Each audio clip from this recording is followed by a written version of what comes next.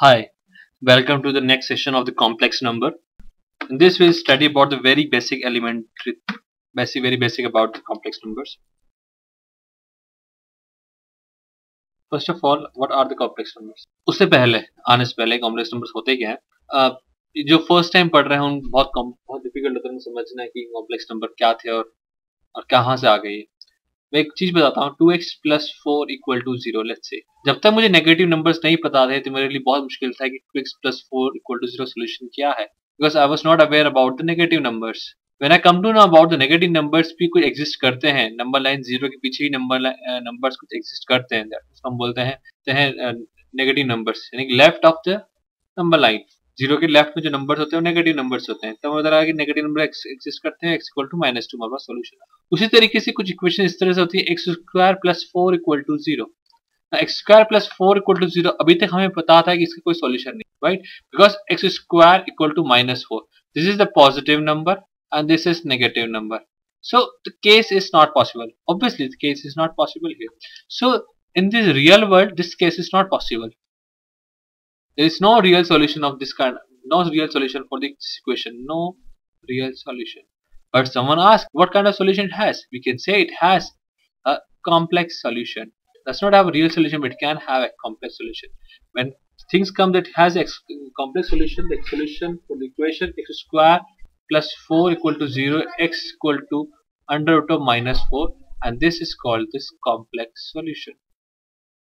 So यहाँ से बात आई कि कॉम्प्लेक्स होता क्या है तो हमने क्या किया, जो माइनस फोर है इसके अंदर, हमने बोला कि माइनस वन को अलग कर दो और रूट फोर को अलग कर दो तो ये हो जाएगा माइनस वन का under root into root four is two और माइनस वन अंडर रूट को हमने एक नया नाम दे दिया, उसको बोलने लगे हम आयोटा क्या बोलने लगे? आयोटा उसको डिनोट किया word I say.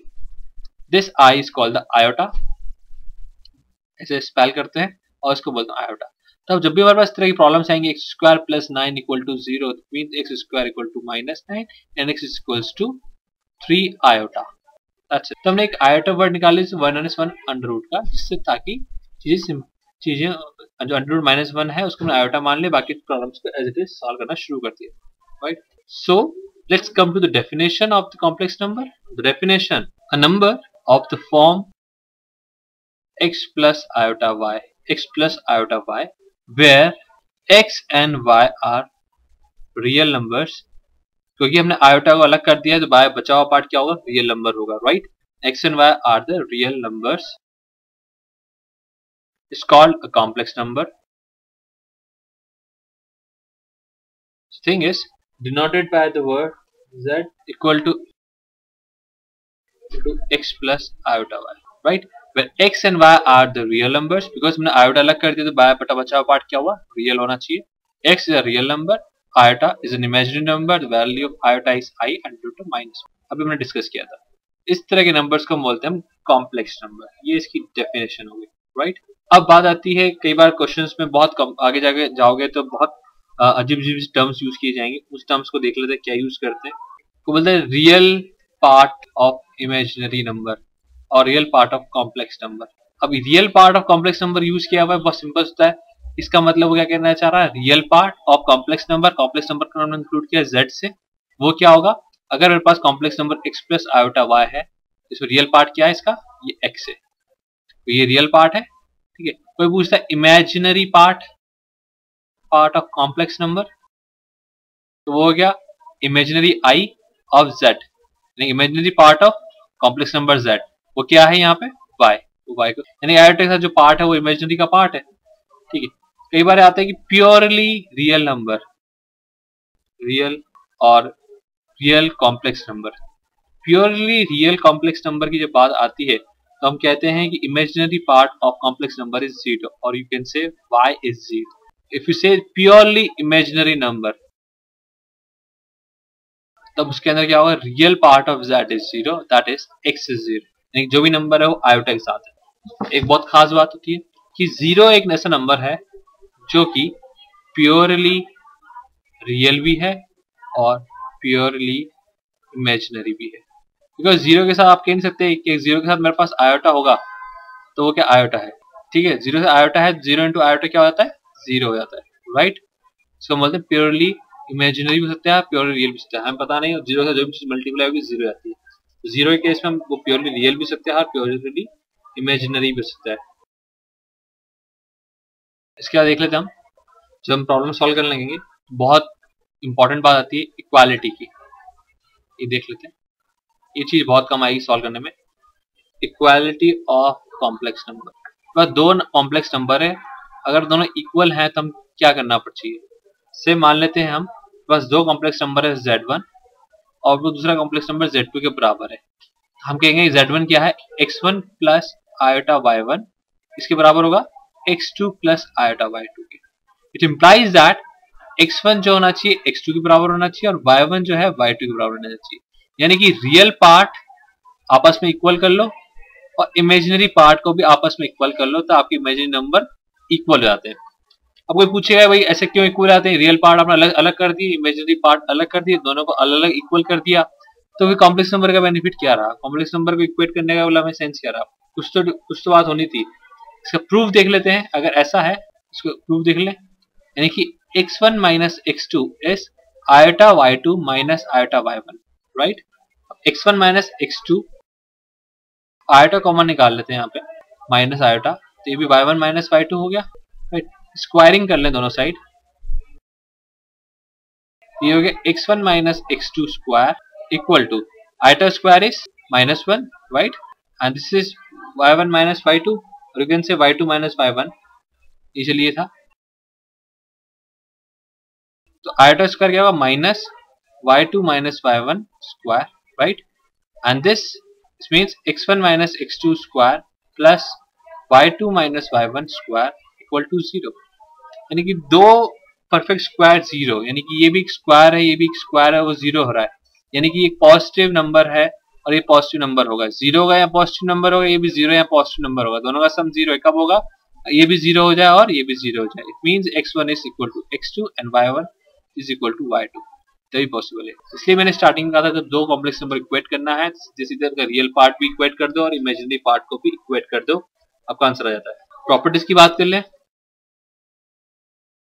First addition addition की बात करें, मेरे पास कॉम्प्लेक्स नंबर z1 है और ऐड कर रहा हूँ z2 को। इसका मतलब ये हुआ x1 plus y one iota y one plus x two plus iota y two को ऐड करने का मतलब होता है x1 प्लस एक्स टू यानी कि रियल पार्ट्स आपने ऐड किए प्लस आयोटा लगा दिया, और उसके बाद आपने इमेजिनरी पार्ट्स को ऐड कर दिया। दैट्स इट यानी कि रियल पार्ट्स को ऐड कर दिया इमेजिनरी पार्ट को ऐड कर दिया, दोनों कंबाइन कर दिया तो आपके पास सम आ गया उन दो कॉम्प्लेक्स नंबर का एडिशन का। सिमिलरली विद सब्ट्रैक्शन सब्ट्रैक्शन में मान लो z1 वन माइनस z2 करना है उसको मतलब आपने इमेजिनरी पार्ट्स माइनस कर दिए उसी ऑर्डर में x1 माइनस x2 को z1 माइनस z2 है प्लस आटा उसी ऑर्डर में आपने इमेजिनरी पार्ट्स को भी सब्ट्रैक्ट कर लिया। तो इसका बोलते हैं subtraction what about the multiplication multiplication case देख लेते हैं। यहाँ पे थोड़ा चेंज ऐसा नहीं है कि आप रियल पार्ट को मल्टीप्लाई कर दो और इमेजिनरी पार्ट को मल्टीप्लाई करो, ऐसा नहीं होता। यानी कि पास x प्लस आयटा वाई यानी कि z1 इंटू जेड टू है। X one one plus iota y into x two plus iota y two इन दोनों को मल्टीप्लाई करना है। तो मल्टीप्लाई करने का जो तरीका आता है, वैसे ही मल्टीप्लाई करेंगे। एक्स वन को इससे पूरे से मल्टीप्लाई करेंगे वाई वन को भी मल्टीप्लाई करेंगे। जब मल्टीप्लाई करके देखते हैं वैल्यू क्या आती है? X one x two right x one y two into iota ठीक है? Plus iota y one x two iota y two x one iota y one x two plus iota into iota क्या होगा? Iota into iota अभी तक मुझे पता था iota की वैल्यू क्या होती है? Under root of minus one iota square क्या हो जाएगा? इसका अंडर रूट हट जाएगा तो माइनस वन आ जाएगा, ठीक है? ये हो जाएगा minus one y one y two ठीक है? आयोटा को एक साइड समेट लेते हैं और जो बिना आयोटा के टर्म्स एक साइड समेटते हैं तो वैल्यू आई x one x two right minus y one y two plus iota x one y two plus y one x two यानी कि प्रोडक्ट जो होता है, ये होता है। यानी कि दो टर्म्स को मल्टीप्लाई अब डायरेक्टली कर ले तभी आंसर आ जाएगा। अगर नहीं करते हैं तो वैल्यू होगी x one x two minus y one y two plus आठ times of x one y two plus y one x two alternate ले लिया। यहाँ ऑल्टरनेट है या साथ में है। ये मल्टीप्लिकेशन होता है। Similarly with division also division की बात करें तो होती है x one plus iota y one upon x two plus iota y two अब इसे डिविजन की बात करें, ये हो गया x one plus iota y one upon x two plus iota y two. जब भी इस तरह टर्म आए तो हम क्या करते हैं, नीचे वाले टर्म को रेशनलाइज करने की कोशिश करते हैं। रेशनलाइज कर ले। और रेशनलाइजेशन पढ़ा था पहले रेशनलाइजेशन नहीं बोलेंगे, यहाँ पे हम बोलेंगे कि x two plus iota y two, इसका जो कॉन्जुगेट होगा, अभी हम पढ़ेंगे कॉन्जुगेट होता है क्या, बता देता हूँ। हम करने से पहले क्या करेंगे, x two minus iota y two से मल्टीप्लाई करेंगे ऊपर नीचे। यानी कि x two plus iota y two conjugate होता है x two minus iota y two. यानी कि जहाँ प्लस है और माइनस आ जाता है। अभी हम पढ़ लेंगे डिटेल में कॉन्जुगेट होता है क्या। ऐसे मल्टीप्लाई करने से क्या होगा x one plus iota y one multiply होगा x two minus iota y two से। अब मल्टीप्लिकेशन हमने जैसे लगाया था वैसे लगा देंगे। नीचे क्या होगा x two plus iota y two x two minus iota y two यानी कि a plus b into a minus b क्या होता है? A square minus b square x two square minus b square यानी माइनस आयोटा स्क्वायर क्या होगा? Minus one और y two square ये टर्म्स आ गई। X one plus iota y one multiply होंगी ये x two minus iota y two से। Upon x two square plus y two नीचे वाली टर्म बहुत रियल नंबर आ गई। अब ये मल्टीप्लीकेशन वाली थ्योरम लगा दी इसके अंदर। मल्टीप्लाइड हो रहे हैं ऊपर दोनों टर्म्स मल्टीप्लाई में क्या होता है? X one x two minus y one y two plus iota x one y two minus y two x one sorry y one x two बस वही लगा दिया आपस as it is upon x two x one square plus x two square sorry x two square plus y two square तो ये हमारे पास division में आ गया। याद करने की ज़रूरत नहीं है इस चीज़ को, बस इसका तरीका देख लो प्रॉब्लम आएगी तो इसी तरीके से इंप्लीमेंट करना, जल्दी आंसर आएगा फॉर्मूला लगाओगे तब तो डिफ़िकल्ट रहेगा। नेक्स्ट वीडियो में हम प्रॉपर्टीज़ पढ़ेंगे। प्रॉपर्टीज़ में कौन कौन सी होती है मैं दिख देता हूँ, आप पढ़ लेना अदरवाइज़ नेक्स्ट वीडियो वॉच कर लेना। हम प्रॉपर्टीज़ पढ़ेंगे closure property commutative property complex numbers की एसोसिएटिव प्रॉपर्टी एडिटिव आइडेंटिटी ये टर्म्स बहुत यूज़ होती है। और पढ़ेंगे additive inverse in next video में हम चीज़ें पढ़ और कुछ प्रॉब्लम्स देखेंगे, अभी तक हमने कोई न्यूमेरिकल नहीं किया नेक्स्ट वीडियो में करेंगे। Thank you for now have a nice day